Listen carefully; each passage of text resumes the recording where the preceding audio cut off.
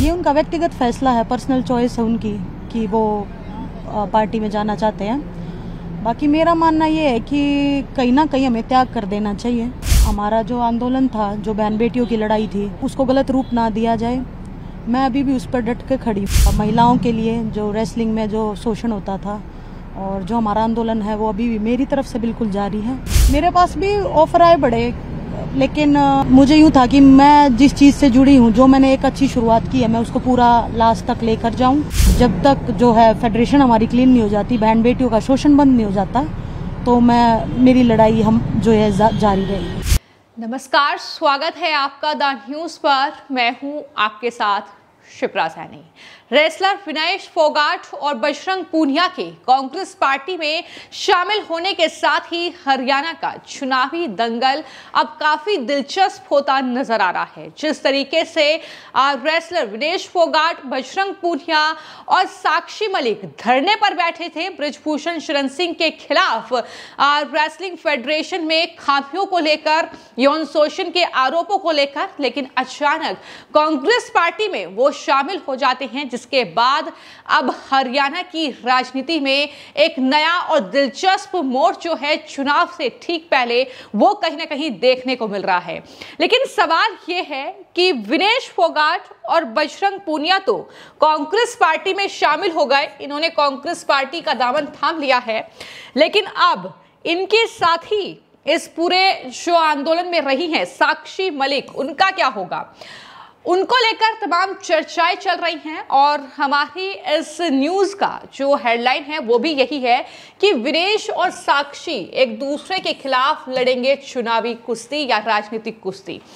ये हम इसलिए कह रहे हैं क्योंकि कई ऐसे पत्रकार हैं जो दावा कर रहे हैं कि दरअसल साक्षी मलिक जो है, वो बीजेपी का दामन थाम सकती है। कई लोग ये लिख रहे हैं कि एक नया पहलवान जो है वो बीजेपी में शामिल होगा।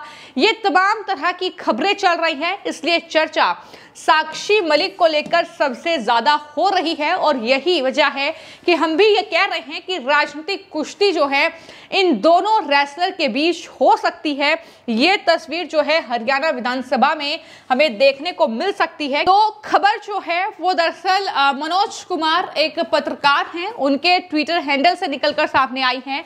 मनोज कुमार की दावा कर रहे हैं अपने इस ट्वीट में कि हरियाणा की एक पहलवान बीजेपी के संपर्क में बताई जा रही है और सूचना का अभी इंतज़ार है। यानी ये कंफर्मेशन नहीं है कि आखिर वो कौन सी पहलवान होगी, क्या नाम उसका होगा, लेकिन फ़िलहाल सबकी निगाहें जो है वो साक्षी मलिक पर ही टिकी हुई हैं। जब विनेश फोगाट और बजरंग पूनिया ने कांग्रेस पार्टी का दामन थामा तो उसके बाद साक्षी मलिक काफ़ी मायूस नज़र आई और उनसे जब मीडिया ने बातचीत की और पूछा कि आप क्या कहेंगी कि विनेश फोगाट आपकी साथी रही इस आंदोलन में?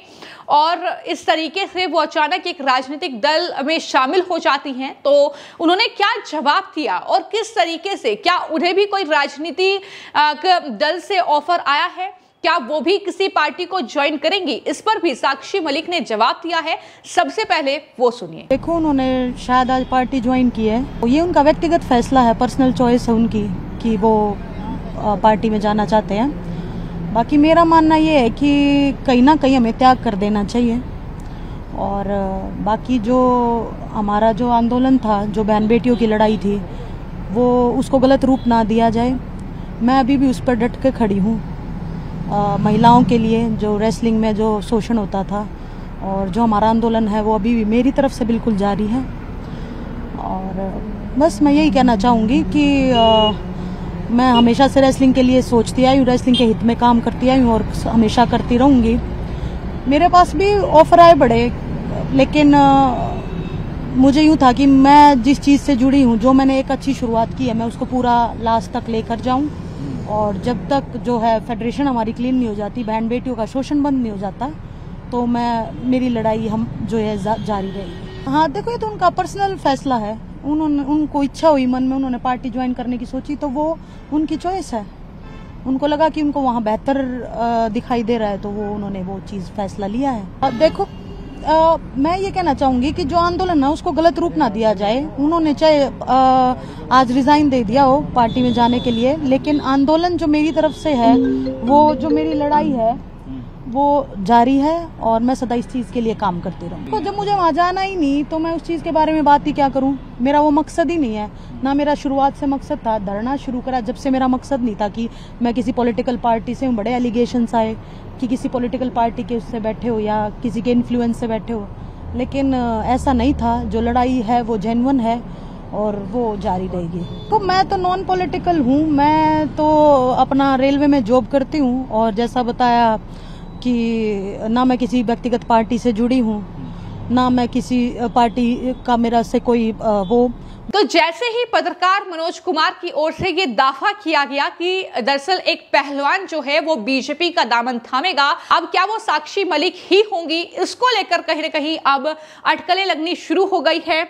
और तमाम लोग जो ट्वीट कर रहे हैं, उसमें ये लिख रहे हैं कि साक्षी मलिक और विनेश फोगाट को दरअसल आमने सामने चुनावी मैदान में उतार दिया जाए तो हरियाणा के इस विधानसभा चुनाव में काफ़ी ज़्यादा एक इंटरेस्टिंग मुकाबला जो है वो देखने को मिलेगा। कई लोग ये लिख रहे हैं कि वो रेसलर जो बीजेपी में शामिल होगी, वो साक्षी मलिक ही हैं। और इसे बीजेपी हरियाणा, विनेश के खिलाफ उतारते तो ज़ाहिर तौर पर यह चुनाव इंटरेस्टिंग हो जाएगा।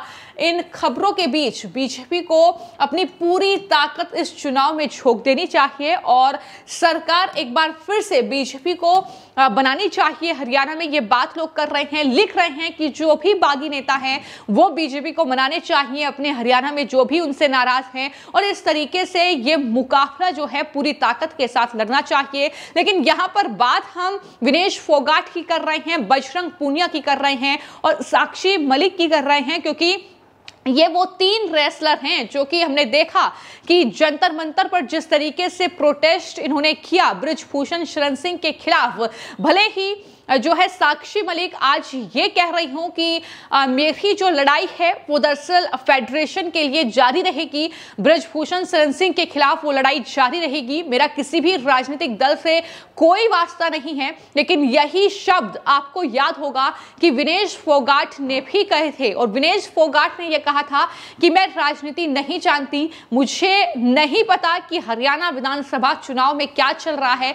ये तमाम बातें उन्होंने कही थी, लेकिन कल ही वो तस्वीर निकलकर सामने आई जब विनेश फोगाट और बजरंग पूनिया जो हैं, वो कांग्रेस पार्टी में शामिल हो गए हैं और विनेश फोगाट अपनी जो ससुराल है, जुलाना, वहाँ से दरअसल उस सीट से वो चुनाव भी लड़ेंगी, इस तरीके की खबरें हैं।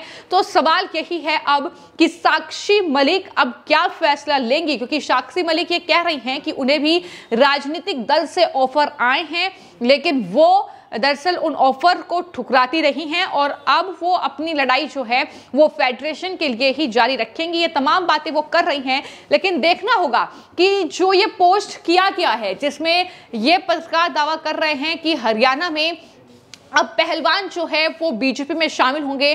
कौन सा वो पहलवान होगा या कौन सी वो पहलवान होगी, ये कहीं ना कहीं बड़ा सवाल है, क्योंकि पहले से ही ये खबरें लगातार चल रही थी, जब से ये आंदोलन की शुरुआत हुई थी कि ये पूरी तरीके से राजनीतिक आंदोलन है और कहीं ना कहीं अब वो चीज़ निकलकर सामने आ रही है, जिस तरीके से विनेश फोगाट ने कांग्रेस पार्टी का दामन थामा है। हालाँकि साक्षी मलिक ये कह रही हैं अपने बयान में कि इस आंदोलन को गलत ना समझा जाए, लेकिन फ़िलहाल ये देखना होगा कि क्या साक्षी मलिक को विनेश फोगाट ने एक तरीके से धोखा दिया है और क्या साक्षी मलिक उसका जवाब देंगी। तो जवाब इस तरीके से देंगी कि वो बीजेपी में शामिल होंगी। क्या कुछ होगा? हरियाणा विधानसभा चुनाव करीब आने तक, यानी एक अक्टूबर को वहाँ पर चुनाव होने हैं। चुनाव की तारीख है जहाँ नब्बे विधानसभा सीटों पर चुनाव होंगे, लेकिन क्या कुछ बड़ा जो चुनावी दंगल में कहीं ना कहीं मुकाबला है, वो हरियाणा में देखने को मिलेगा, या आने वाले वक्त में देखना होगा। फ़िलहाल आपकी इस खबर को लेकर क्या राय है, हमें कॉमेंट बॉक्स में ज़रूर लिखें।